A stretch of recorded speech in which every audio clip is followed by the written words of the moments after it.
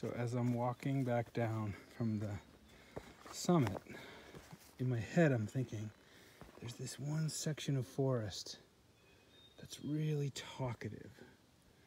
There's a real magic in this stretch. And I'm thinking to myself, is that really going to happen again?